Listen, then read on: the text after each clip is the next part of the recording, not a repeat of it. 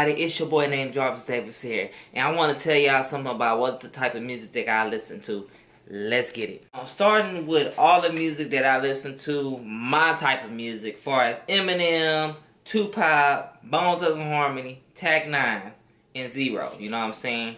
But the thing is that I can't listen to the new generation of music. I just can't. You know what I'm saying? That don't fits my era. You know what I mean?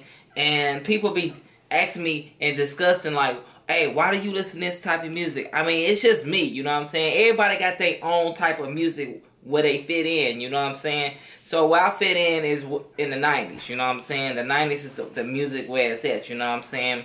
So, situations, you know what I'm saying? Uh, let me go down the line. First, I started listening to Bone Thugs-n-Harmony in 1997 to 98. Then I discovered Tech N9ne in 2009. Then I discovered um, what's his name, Eminem in 2005. So it's like different areas that where I listen to music from. And then I discovered Z-Ro in 2006.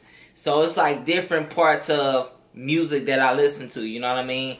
And that's just me, you know what I'm saying? Everybody got their own opinions, you know what I'm saying?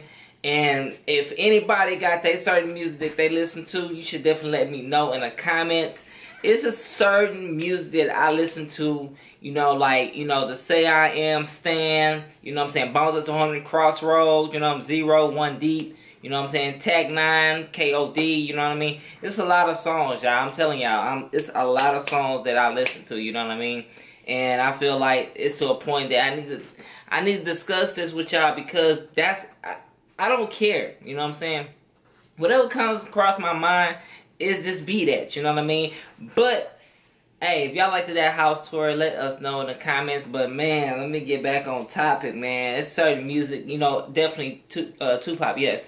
Uh, him too, you know what I mean? And you got the eyes all on me, you know what I'm saying? You got, you got, man, picture me rolling. You got, you got so many songs out there that, you know, it's just a lot, you know? And it's just, to me, I want to discuss and sh share with y'all. You know what I'm saying? I can't, you know, it's it's music popping in my mind. Like, dang, man, I feel like listening to it. I feel like reacting to it. But I want to do a discussion about some situations. You know what I mean? Music helped me, and man, it's crazy. It helped me like a whole lot. You know what I mean? Like so different areas. You know what I'm saying?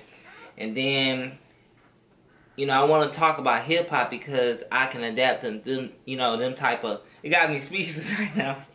I can adapt them to them type of music because I just fit in that era. You know what I mean? And also, I can't leave that out. NWA and Easy E, man. I had to throw that in up in there. You know what I mean? You got.